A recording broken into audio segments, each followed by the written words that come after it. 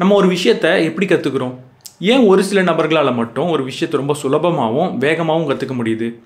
ஒரு முறையில் நம்ம எல்லாருக்கும் ஒரு விஷயத்த சொல்லித்தரப்போ ஏன் எல்லாருக்கும் ஒரே மாதிரியான பயனை அது அளிக்கிறது இல்லை டாக்டர் லாரா பாய்ட் அப்படின்றவங்க யூனிவர்சிட்டி ஆஃப் பிரிட்டிஷ் கொலம்பியாவில் ஒரு மிகப்பெரிய நியூரோ சயின்டிஸ்ட்டாக இருக்காங்க.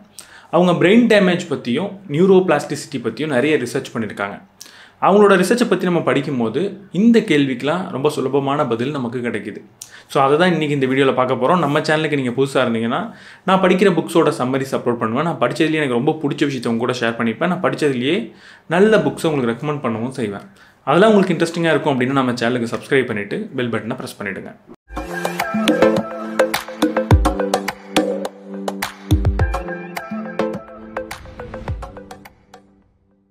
டாக்டர் லாராவோட ஸ்டடீஸ் நிறைய ஆச்சரியமான ரிசல்ட்டை நமக்கு காட்டுது. ரொம்ப முக்கியமாக நம்ம இவ்வளோ நாள் உண்மைன்னு நம்பிக்கிட்டு இருக்க பல விஷயத்தை அவங்க பொய்ன்னு காட்டுறாங்க. ஒரு உதாரணத்துக்கு குழந்தை பருவத்தை தாண்டிட்டோம்னா மூளை பெருசாக வளர்றது இல்லை அப்படின்ற நம்பிக்கையாக இருக்கட்டும். நம்ம மூளையில் குறிப்பிட்ட பர்சன்டேஜ் தான் நம்ம பயன்படுத்துகிறோம் டுவெண்ட்டி பர்சன்ட் தேர்ட்டி பர்சன்ட் தான் பயன்படுத்துகிறோம் ஹண்ட்ரட் பர்சன்ட் பிரெயினை நம்ம இன்னும் பயன்படுத்த ஆரம்பிக்கலன்ற நம்பிக்கையாக இருக்கட்டும். இல்லை நம்ம எதுவுமே யோசிக்காமல் அமைதியாக இருந்தால் நம்ம மூளையிலையும் மூளையும் அமைதி அடையும் அப்படின்ற நம்பிக்கையாக இருக்கட்டும். இது எல்லாத்தையுமே பொய்ன்னு காட்டுறாங்க. இது எல்லாத்த தாண்டி ரொம்ப முக்கியமான ஒரு விஷயம் அவங்க என்ன சொல்கிறாங்கன்னா எப்போல்லாம் நம்ம புதுசாக ஏதோ ஒரு விஷயத்தை கற்றுக்குறோமோ அப்போல்லாம் நம்ம மூளை தன்னோட வடிவத்தை மாற்றி அமைச்சிக்குது அப்படின்னு சொல்கிறாங்க ஒரு விஷயத்தை கற்றுக்கிறதுக்கு முன்னாடி இருக்கிற மூளையும் கற்றுக்கிட்டதுக்கு அப்புறம் இருக்கிற மூளையும் கம்பேர் பண்ணி பார்த்தா அதில் நிறைய சேஞ்சஸை அப்சர்வ் பண்ண முடியுது அப்படின்னு அவங்க சொல்கிறாங்க இந்த தன்மையை தான் நியூரோ பிளாஸ்டிசிட்டி அப்படின்னு அவங்க சொல்கிறாங்க கொஞ்சம் வருஷத்துக்கு முன்னாடி வரைக்கும் நம்ம என்ன நம்பிட்டு இருந்தோம்னா குழந்தை பருவத்தை தாண்டிட்டோம் அப்படின்னா மூளை பெருசாக வளராது.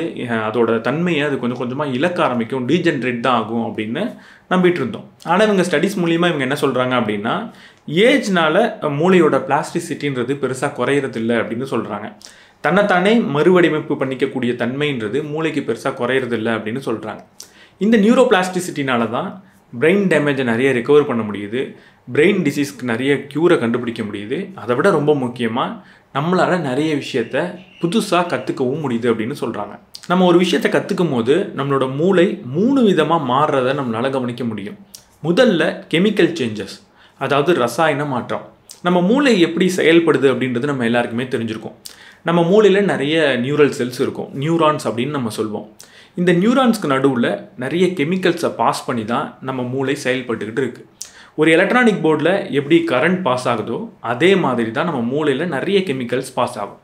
ஸோ ஒரு விஷயத்தை நம்ம புதுசாக கற்றுக்குறோம் அப்படின்னா அதை கற்றுக்கும் போது நம்ம மூளையில் இந்த கெமிக்கலோட வீரியம் அதாவது கான்சன்ட்ரேஷன் அதிகமாகிறத நம்மளால் நோட் பண்ண முடியும். முக்கியமாக இப்படி இந்த கெமிக்கலோட வீரியம் அதிகரிக்கிறத உடனடியாக நம்மளால் பார்க்க முடியும். புதுசாக ஏதோ ஒரு விஷயத்தை கற்றுக்குறோன்னா அதை கற்றுக்க ஆரம்பிக்கும் போதே நம்ம மூளையில் கெமிக்கல் சேஞ்சஸ் நடக்கிறத நம்மளால் பார்க்க முடியும். இது இப்படி குயிக்காக நடக்கிறதுனால இந்த மாதிரியான சேஞ்சஸ் தான் நமக்கு ஷார்ட் டேர்ம் மெமரிக்கும் ஷார்ட் டேர்ம் பர்ஃபார்மன்ஸ்க்கும் ஷார்ட் டேர்ம் இம்ப்ரூவ்மெண்ட்டுக்கும் பயன்படுது. உதாரணத்துக்கு நமக்கு ஒரு விளையாட்டை பற்றி என்னன்னே தெரியாது. ஃப்ரெண்ட்ஸோட போய் அப்போ தான் அந்த விளையாட்டு என்னன்னு கேட்டு கற்றுக்குறோம் கற்றுக்கிட்ட உடனடியாக நம்மளால் அந்த விளையாட்டை விளையாட முடியும். ரூல்ஸே அவ்வளோ நாள் தெரிஞ்சிருக்காது. இப்போ உடனடியாக ரூல்ஸை ஒபே பண்ண ஆரம்பிச்சிருப்போம். விளையாடவும் ஆரம்பிச்சிருப்போம் ஓரளவுக்கு. இந்த ஷார்ட் டேர்ம் இம்ப்ரூவ்மெண்ட்டுக்கு நம்ம மூளையில் நடக்கிற கெமிக்கல் சேஞ்சஸ் தான் காரணம். ஆனால் இந்த ஷார்ட் டைம் இம்ப்ரூவ்மெண்ட் வச்சு நம்மளால் அந்த கேமில் ஒரு சாம்பியன் ஆக முடியாது. எல்லாரையும் ஜெயிக்க முடியாது. அதுக்கு நமக்கு ரெண்டாவது மாற்றம் அப்படின்றது தேவை. ரெண்டாவது மாற்றம் என்னென்னா ஃபிசிக்கல் சேஞ்சஸ் மூளை தன்னோட வடிவத்தையே மாற்றி அமைச்சிக்கிறது. கொஞ்ச நாள் நம்ம தொடர்ந்து இந்த மாதிரியான பயிற்சியில் இருந்துக்கிட்டே இருந்தோம் அப்படின்னா மூளையோட வடிவம் அப்படின்றது மாற ஆரம்பிக்கும். அதாவது மூளையில் புது புது நியூரல் கனெக்ஷன்லாம் உருவாக ஆரம்பிச்சிருக்கோம். இங்கே மூளையோட ஸ்ட்ரக்சரே மாறுது அப்படின்றதுனால இதுக்கு கொஞ்சம் டைம் அதிகமாக தான் எடுக்கும். பட் இந்த கனெக்ஷன்ஸ்லாம் புதுசாக உருவானது அப்படின்னா இதை நம்ம ரொம்ப நாளுக்கு மறக்க மாட்டோம். லாங் டேர்முக்கு இது நமக்கு ஹெல்ப் பண்ணும்.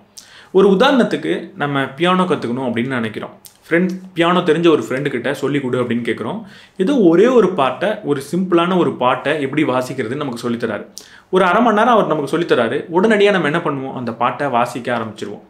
ஸோ ஒரு ஒரு வாரம் கழித்து திரும்ப அந்த பாட்டை வாசிக்க சொன்னால் அதுக்கப்புறம் நம்மளால் அதை வாசிக்க தெரியாது இல்லை ரொம்ப கம்மியாக அதை வாசிப்போம்.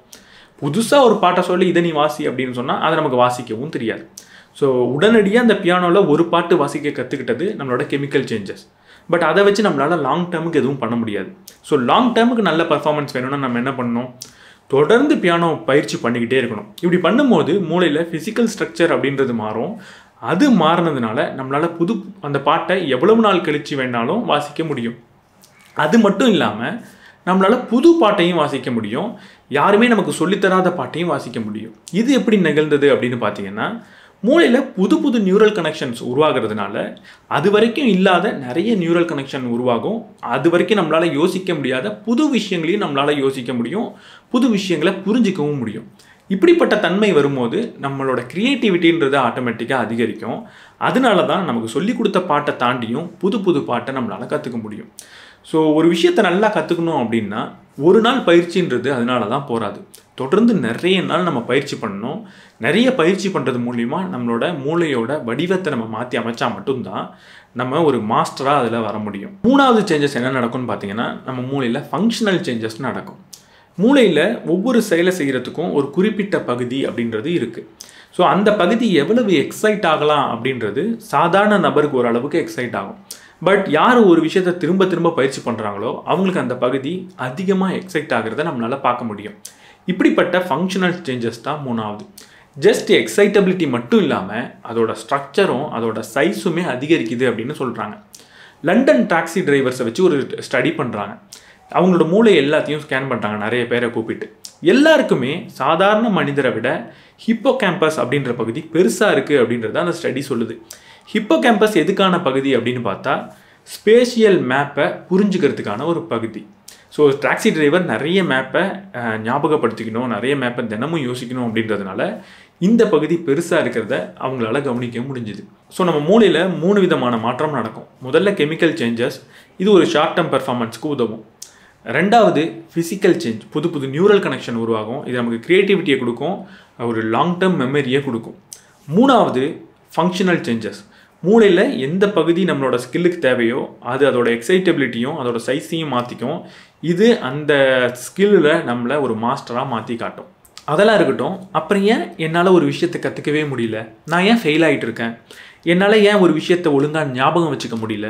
எனக்குள்ள கற்றுக்கிறதுல ஏன் நிறைய லிமிட்டேஷன் இருக்குது அப்படின்னு கேட்டால் டாக்டர் லாராவோட ஸ்டடி இதுக்கான பதிலை தான் ரொம்ப தெளிவாக சொல்லுது. டாக்டர் லாரா என்ன ஸ்டடி பண்ணுறாங்கன்னா ஸ்ட்ரோக்ஸை ரிவர்ஸ் பண்ணுறதுக்கு நிறைய ஸ்டடி பண்ணுறாங்க ஒரு ஸ்ட்ரோக்னால பிரெயினில் நிறைய டேமேஜ் வருது. ஆனால் பிரெயினுக்கு தான் தன்னைத்தானே வடிவத்தை மாற்றி அமைக்கக்கூடிய பண்பு இருக்குது அப்போ ஏன் இந்த டேமேஜை ரிவர்ஸ் பண்ண முடியாது அப்படின்னு அவங்க ஸ்டடி பண்ணுறாங்க இதை பண்ணும்போது அவங்க ரொம்ப சேலஞ்சை ஃபேஸ் பண்ணுறாங்க இது ரொம்ப கடினமானதாக இருக்குது அதுக்கு காரணம் என்னென்னா நம்ம மூளையில் ஒரு மாற்றம் நடக்கணும் அப்படின்னா அதுக்கு முக்கியமான காரணம் பிஹேவியர் அதாவது ஒரு விஷயத்தை திரும்ப திரும்ப பண்ணுறதுனால மட்டும்தான் நம்ம மூளையை வடிவத்தை மாற்றி அமைக்க வைக்க முடியும். பட் எவ்வளவு நேரம் நான் ப்ராக்டிஸ் பண்ணணும்? அப்படின்ற கேள்விக்கான பதிலை பார்த்தா ஒவ்வொரு நபருக்கும் அது வேறு வேறையாக இருக்குது ஒரு ஆளுக்கு பத்தாயிரம் மணி நேரமாக இருக்குது இன்னொரு ஆளுக்கு இருபதாயிரம் இன்னொரு ஆளுக்கு முப்பதாயிரம் மணி நேரமாக இருக்குது இப்படி ஒவ்வொரு நபருக்கும் எவ்வளவு பயிற்சி பண்ணணும் எப்படி பயிற்சி பண்ணணுன்றது மாறுறதுனால பிரெயின் டேமேஜை ரிவர்ஸ் பண்ணுறதுக்கு ஒரு குறிப்பிட்ட முறையை அவங்களால கொண்டு வர முடியல. ஸோ ஒவ்வொரு ஆளுக்கும் பர்சனலைஸ்டு முறையை நான் எப்படி கொண்டு வரது அப்படின்னு ரொம்ப திகச்சு போயிடுறாங்க. இந்த ஸ்டடி மூலியமாக அவங்க கண்டுபிடிச்ச நிறைய விஷயம் ரொம்ப யூஸ்ஃபுல்லானதாக மாறுது. ஸ்ட்ரோக்கை ரிவர்ஸ் பண்ணுறதுக்காக கிடையாது நம்மளோட லேர்னிங்கை இம்ப்ரூவ் பண்ணுறதுக்காக ஸோ அவங்க ஸ்டடீஸ் நமக்கு என்ன சொல்லுதுன்னு சிம்பிளாக பார்த்தா முதல்ல நீங்கள் ஒரு விஷயத்தை கற்றுக்கணும் உங்கள் மூளையோட வடிவத்தை மாற்றி அமைக்கணும் அப்படின்னா ஒரே வழி தான் இருக்குது ப்ராக்டிஸ் ஒரு விஷயத்தை திரும்ப திரும்ப நீங்கள் செஞ்சு தான் ஆகணும். உங்களோட வேலையை நீங்கள் செஞ்சு தான் ஆகணும். அதை செய்யாமல் நான் நிறைய விஷயத்தை கற்றுக்கணும்னு நினச்சிங்கன்னா நடக்கவே போகிறது கிடையாது. ரெண்டாவது நீங்கள் இப்படி கற்றுக்கிறது எவ்வளவு கடினமான விஷயமா இருக்கோ எவ்வளவு சேலஞ்சிங்கான எவ்வளவு டிஃபிகல்ட்டான விஷயமா இருக்கோ அந்த அளவுக்கு உங்கள் மூளையில் நடக்கிற மாற்றம்ன்றது ஆழமானதாக இருக்குது ஸோ ஒரு விஷயத்தை கற்றுக்கணும் அப்படின்னு சொல்லிட்டு ஈஸியாக மேலே மேலால் அப்படியே பார்த்துட்டு போகக்கூடாது. ரொம்ப டீப்பாக போய் நம்மளை நம்ம கொஞ்சம் கஷ்டப்படுத்திக்கிட்டு தான் ஆகணும். அப்போ தான் அதை கற்றுக்கும் போது நம்மளால் டீப்பாக கற்றுக்க முடியும். மூணாவது நம்ம மூளையில் நடக்கிற சேஞ்சஸ் எல்லாம் பாசிட்டிவான சேஞ்சஸ் மட்டும் அப்படின்னு நம்ம நினச்சிடக்கூடாது. அதாவது ஒரு விஷயத்தை பயிற்சி பண்ணிக்கிட்டே இருந்தால் புது புது ஸ்ட்ரக்சர் உருவாகும் தான். ஆனால் பயிற்சி பண்ணுறதை நிறுத்தினா அதே ஸ்ட்ரக்சர் திரும்ப காணாமல் போயிடும். ஸோ நெகட்டிவ் சேஞ்சஸும் நடக்கும். ஸோ பயிற்சி பண்ணிட்டேன் நான் பெரிய ஆள் ஆகிட்டேன் அப்படின்னு நினச்சி அதுக்கப்புறம் எதுவுமே பண்ணாமல் இருந்தீங்கன்னா உங்களோட ஸ்கில் லெவல் அப்படின்றது குறைய தான் போகுது. நாலாவது எல்லாருக்கும் பொருந்துற மாதிரியான ஒரு பயிற்சி முறைன்றது கிடையவே கிடையாது. ஒரு விஷயத்தை கற்றுக்கணும் அப்படின்னா நான் எப்படி கற்றுக்கிறேன் எவ்வளவு நேரம் கற்றுக்கிறேன் அப்படின்றது உங்களுக்கு பொருந்தி போகவே போகாது. நீங்கள் வேறு மாதிரி தான் கற்றுக்கணும் நீங்கள் ரொம்ப அதிகமான நேரமோ இல்லை கம்மியான நேரமோ பயிற்சி பண்ண வேண்டிய தேவைன்றது உங்கள் மூளைக்கு இருக்கும். அதனால தான் ஒரே ஒரு ஸ்கூல் எஜுகேஷன் சிஸ்டம்ன்றது எல்லாரையும் சக்ஸஸ்ஃபுல்லான நபராக எல்லாரையும் ஒழுக்கமான நபராக மாற்றுறதே கிடையாது. ஸோ நம்ம என்ன பண்ண முடியும்? எல்லாரையும் ஸ்கேன் பண்ணி இவங்க இப்படி தான் கற்றுக்குறாங்கன்னு படித்து புது புது ஸ்கூலை உருவாக்க முடியாது.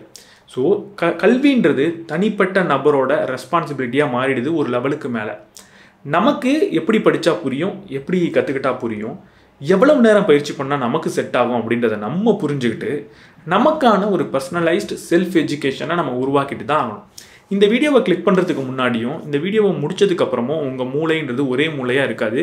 கண்டிப்பாக மாறி தான் இருக்கும். ஆனால் இந்த வீடியோவை பார்த்த ஆயிரம் பேருக்கும் இருக்கிற மாற்றம்ன்றது வெவ்வேறு விதமாக ஆயிரம் விதமாக இருக்க போகுது. இங்கே அஞ்சாவது விஷயம் என்னென்னா நம்ம ஒவ்வொரு நபருக்கும் மூளையில் நடக்கிற மாற்றம் வேறையாக இருந்தாலும் அதை விட பெரிய விஷயம் ஒவ்வொரு ஸ்கில்லை நான் கற்றுக்கும் போதும் ஒவ்வொரு நிகழ்வுக்கும் நடக்கிற மாற்றமும் வெவ்வேறு விதமாக இருக்குது உதாரணத்துக்கு பியானோ கற்றுக்க போகிறேன் அப்படின்னு நான் போய் கற்றுக்கிறப்ப எனக்கு ரொம்ப ஈஸியாக இருந்திருக்கலாம்.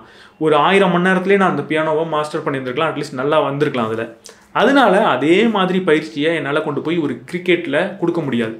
ஸோ வெவ்வேறு ஸ்கில்லை கற்றுக்கும் போது மூளையில் வெவ்வேறு பகுதியை நான் எக்ஸைட் பண்ணும்போது மாற்றம்ன்றது வெவ்வேறு அளவில் வெவ்வேறு வீரியத்தில் இருக்குது இதனால தான் நமக்கு என்ன ஸ்கில் வருதுன்றதை தெளிவாக புரிஞ்சுக்கிட்டு அந்த ஸ்கில்லை சுற்றியே நம்மளோட பயிற்சியெல்லாம் கொண்டு போகிறப்ப நம்ம சக்ஸஸ்ஃபுல்லாக வருவோம்.